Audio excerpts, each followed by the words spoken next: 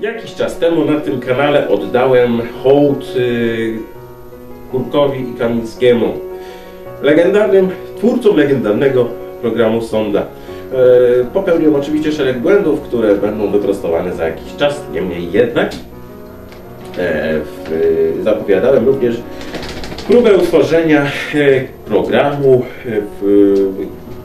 nawiązującego do sondy i do tez poruszanych w nim. E, Sonda tezy po latach. E, Telewizja Polska ubiegła mnie reaktywując sondę, tworząc sondę 2. I oto moja refleksja.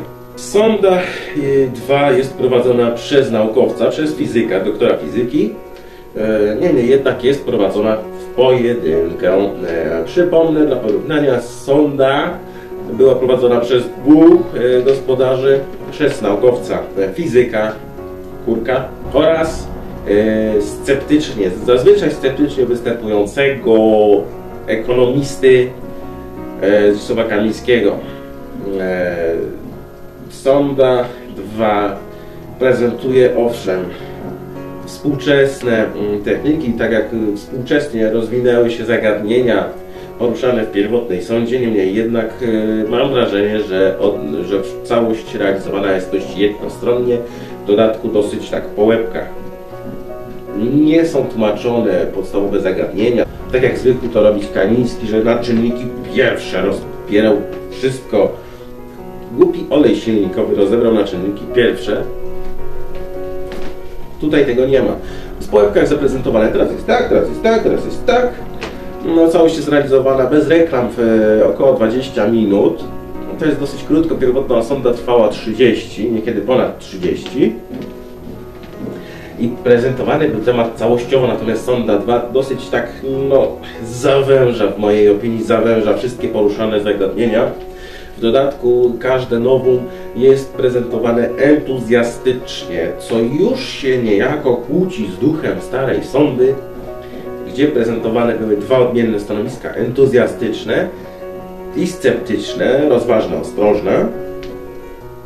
Mało tego, współczesna sonda, ja również odnoszę wrażenie, sonda 2 kończy się jakimś pozytywnym spostrzeżeniem, że każdy ten, każda poruszona sytuacja ma swoje dobre strony, że fajnie, że to się rozwija.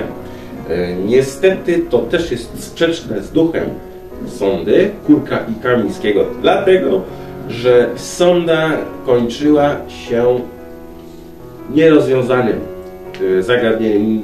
Nie rozstrzygnięto, czy omawiane rozwiązania są dobre, czy nie. Nie wskazywano kierunku, w którym należy podążać, nie klarowano ostatecznej opinii. To należało do widza. Kurek Kamiński obiektywnie przedstawiali wszystko to, co mieli przedstawić. Widz miał rozstrzygnąć, co jest właściwe. Widz miał myśleć samodzielnie. Tutaj już od tego widzę ktoś odszedł, już tego nie ma. Szkoda. Eee, bo prowadzący są D2 powiedzmy, że się nadaje eee, do tego programu. Niestety występuje pojedynkę. Trzeba mu dobrać koniecznie jakiegoś sceptycznie występującego ekonomistę. Faktem jednak jest, że nikomu na pewno nigdy nie uda się doścignąć sądy Kurka i Kamińskiego. Oni tworzyli swój niezapomniany, niepowtarzalny klimat. Ech, no ale liczę, że, że pomalutku telewizja, przynajmniej polska, powróci do tradycji e, takich programów edukacyjnych. Może nawet kiedyś powróci blok telewizji edukacyjnej. E, bardzo na to liczę, bo tamta telewizja miała klimat. Teraz rzadko kiedy włączam telewizor, a będę musiał za niego płacić w energii elektrycznej. Szkoda, że będę płacił za nic. Na razie.